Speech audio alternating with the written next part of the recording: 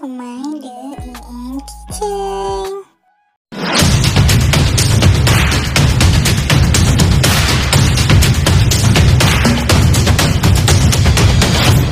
Hai, menu kita hari ni mashed potato. Okey, first kita panaskan air untuk kita rebus kentang kita. Lepas tu kami masukkan satu sudu kecil garam halus. Kita kacau-kacaukan supaya garam tu uh, dilarut dalam air tu. Okey, lepas tu kita tunggu dia mendidih.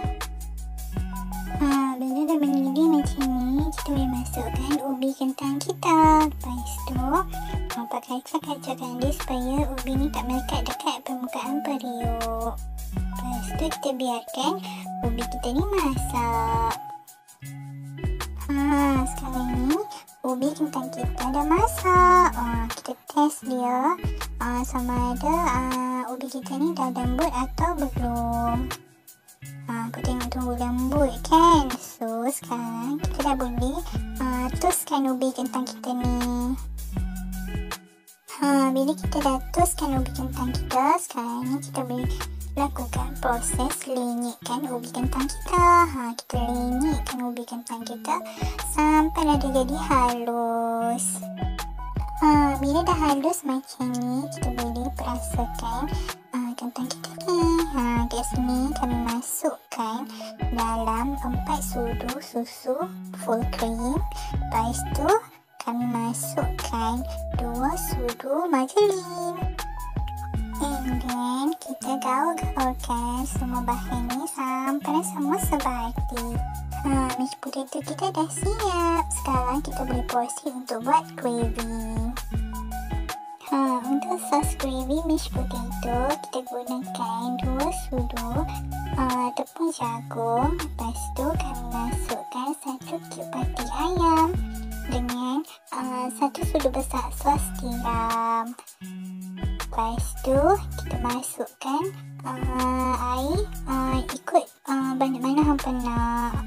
Kita kacau-kacaukan dia sampai semua bahan ni larut. Ha, sekarang kita boleh masak sos gravy kita. Ha, kita masukkan bajuan kita tadi. Lepas tu kita kacau-kacaukan dia sampai semua terlarut. Bila semua dah larut dan sos kita pun dah pekat macam ni. So sekarang kita boleh perasakan kuah gravy kita. Okay, kat sini kami masukkan uh, lada hitam dengan uh, sedikit je tidak manis. Lepas tu kita kacau-kacaukan dia sampai semua sebati.